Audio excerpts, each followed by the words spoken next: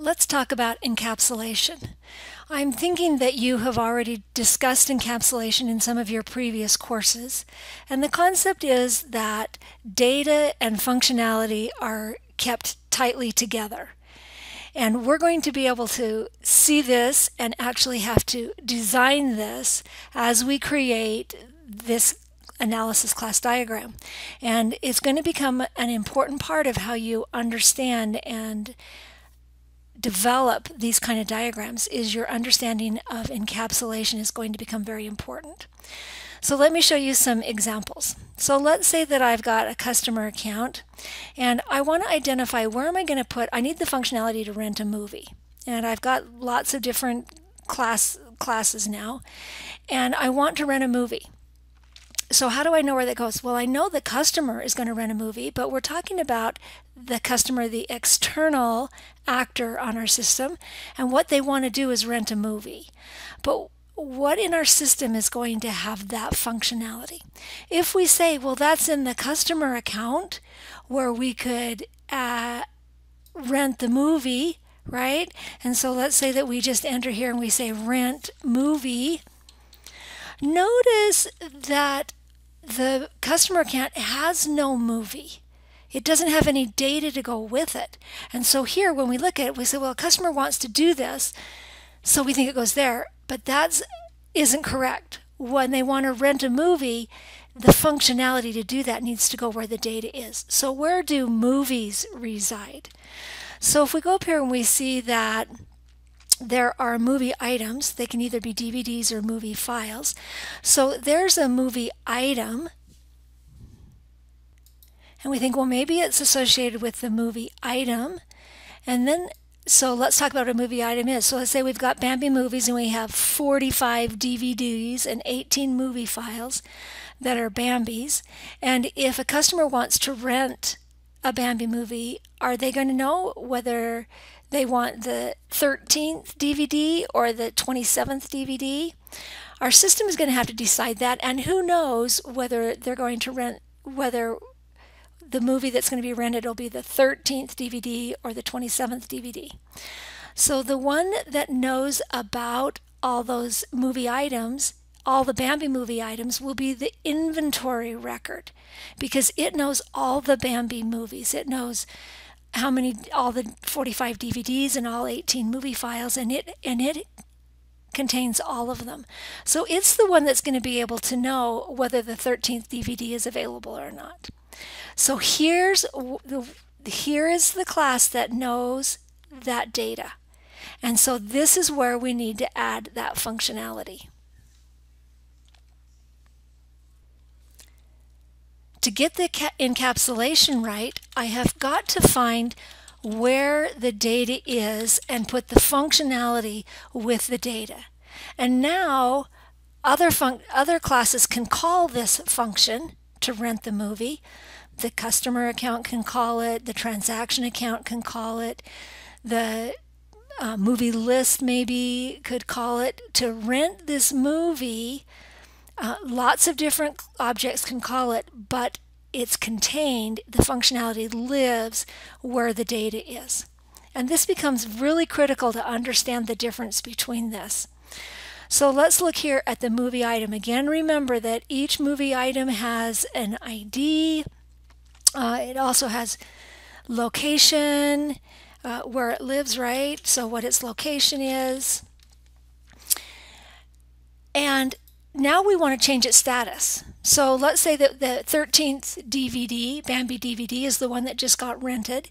And so we want to change its status from available to rented.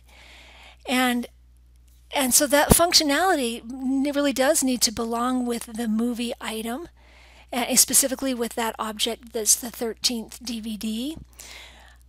But notice there's no data here to identify what the current status is or to change it to something else.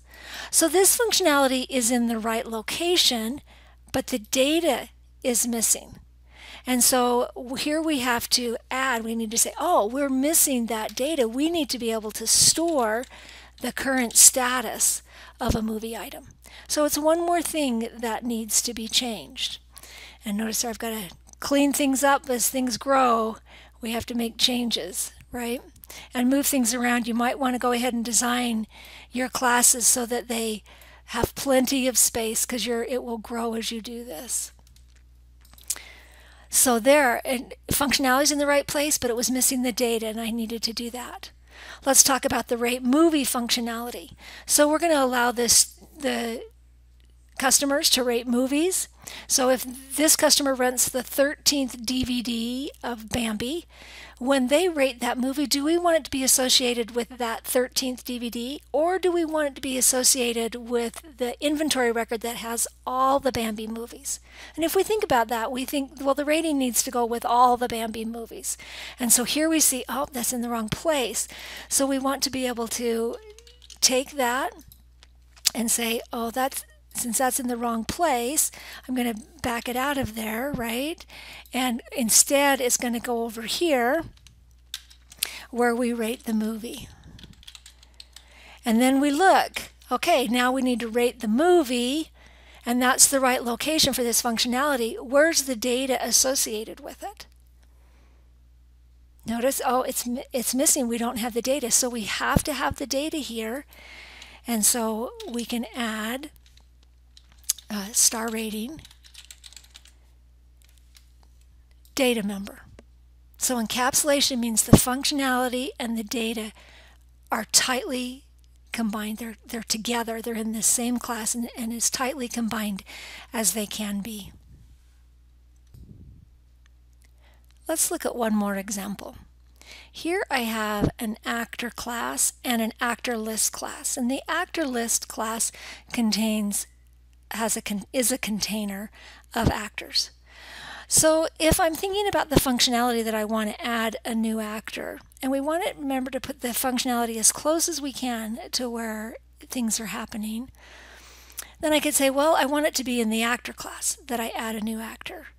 But if you think about that carefully, this represents um, a single class, and if we want have multiple objects of that class. For example, let's say we already have an object for John Wayne, the actor, and we want to add a new actor object for Morgan Freeman, the actor.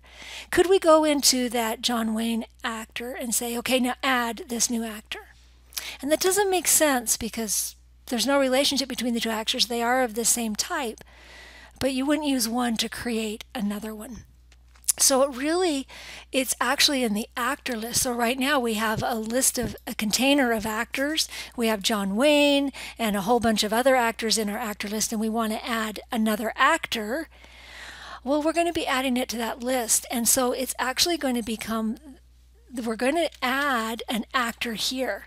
And we'll, if we add that functionality here, then we that will be added to the container. It will create a new actor, actor object, and that new actor object will be added to this actor container.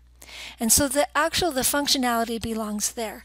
The same would be the case for remove actor because we're going to be taking the actor from the list and running the destructor of the actor class, of the actor object. And so it fits there. Now what about editing an actor?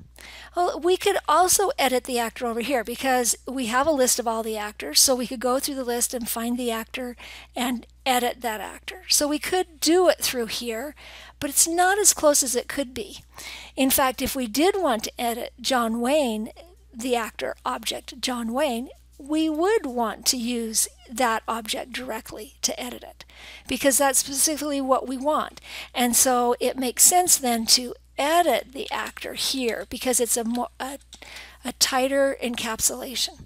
It's directly related to the object that we want to interact with and do that functionality of. This will be interesting to learn about encapsulation.